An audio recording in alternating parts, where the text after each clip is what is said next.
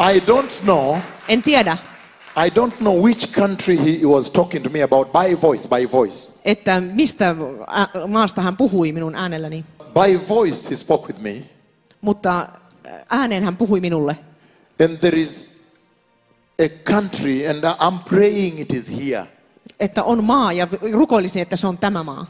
But I know that Kenya is the only country that puts radio in the hospitals. The doctors put the radios to the patients for the healing service. Mutta Kenia on ainoa maa, joka laittaa sairaalaan radioita, että he voivat kuunnella sitä parantumiskokousta.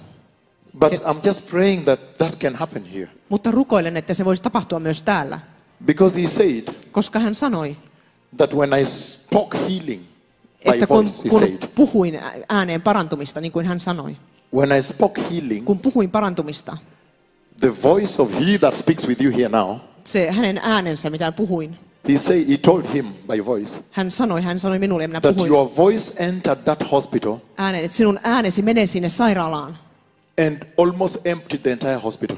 ja melkein tyhjensi sen sairaalan. So I don't know.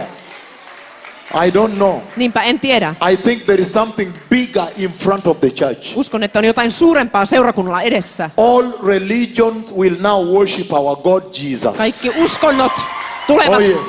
palvomaan Oh yes. meidän Jumalamme. So when I woke up from that dream, Kun heräsin siitä unesta, I just wondered, ihmettelin vain, which country is this? että mikä maa tämä mahtaa olla. Because I have a healing service tomorrow Koska minulla on huomenna parantumiskokous for the Lord. Herralle. The power of the blood of Jesus Jeesuksen veren voima is soon about to enter a hospital and empty the beds. on astumaisillaan sisälle sairaalan ja tyhjentämään sairaalan.